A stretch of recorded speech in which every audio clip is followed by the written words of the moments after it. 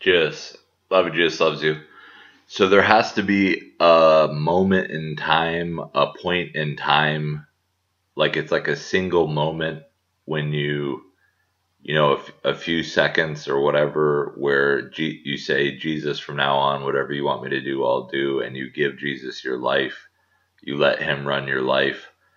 Uh, like this video, I wasn't wanting to make because I was getting tired, but uh, you let Jesus run your life. Uh, you give it to Him, and it's supernatural. So God has to, God has to be there. He has to do it. So you have to pray for it, and uh, but you also have to do it.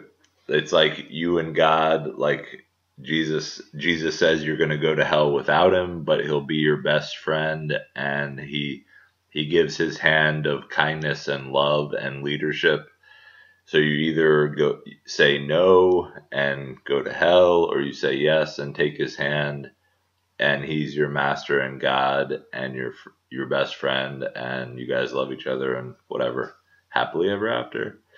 But uh, but it's a moment in time where you Jesus from now on, whatever you want me to do, I'll do, and it's like an atom bomb goes off. Every conversion is a radical conversion I don't like I grew up in Christianity and my conversion was radical.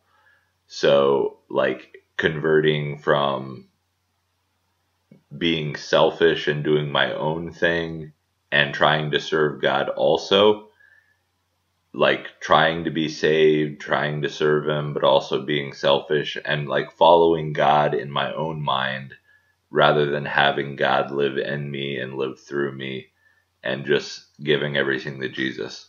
So it's a single moment in time where you it's a radical conversion. You give everything to Jesus. So uh, and you'll know if it uh, when you give your life to Jesus, you'll know that it happened. So, anyways, love of Jesus loves you. Jesus.